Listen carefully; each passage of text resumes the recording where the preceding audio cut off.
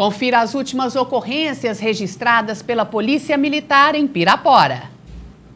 Últimas ocorrências policiais com o soldado Roberto. Soldado Roberto, houve apreensão de suspeitos de tráfico de drogas aqui na cidade de Pirapora? Sim, a Polícia Militar aí já vem recebendo várias informações acerca de indivíduos bastante conhecidos no meio policial aí pela prática de, desse delito aí do tráfico de drogas na nossa cidade.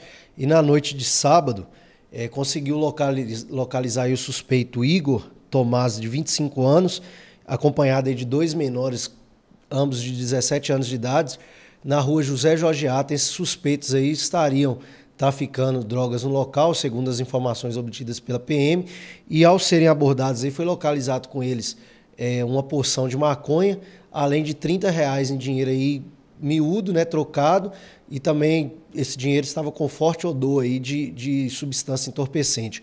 Diante de, dessa situação aí, os militares efetuaram a prisão do, do, suspeito identificado como Igor e apreensão dos dois menores e conduziram eles aí à delegacia de polícia, juntamente com a droga e com o dinheiro que foi apreendido. Nós tivemos aí também no, na tarde de ontem o registro de uma ocorrência de um roubo que ocorreu aí no bairro Santa Mariana, na Rua 9, onde segundo informações da, das vítimas aí que transitavam pelo local, dois indivíduos aí aparentemente armados abordaram as vítimas e obrigaram ela aí a descer de uma motocicleta Honda Titan de cor azul de placa HBO 0699 e logo após aí, esses indivíduos utilizando essa motocicleta que foi roubada, é, efetuaram em sequência aí um, um, outro roubo a um estabelecimento comercial, dessa vez é, em uma empresa, aí, uma construtora.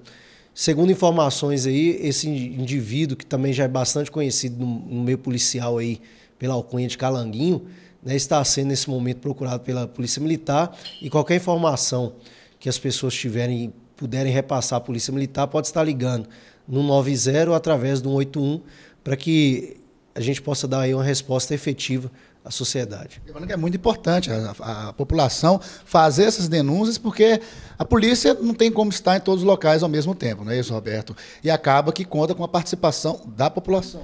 Com certeza, né? A, a, premissa da nossa Constituição aí diz que a segurança pública é dever do Estado e direito e responsabilidade de todos, né? Então, como direito e como responsabilidade também do cidadão piraporense de toda a nossa região, é importante que a comunidade entenda isso e participe é, denunciando, fazendo as suas denúncias e contribuindo assim com o trabalho da Polícia Militar no nosso município.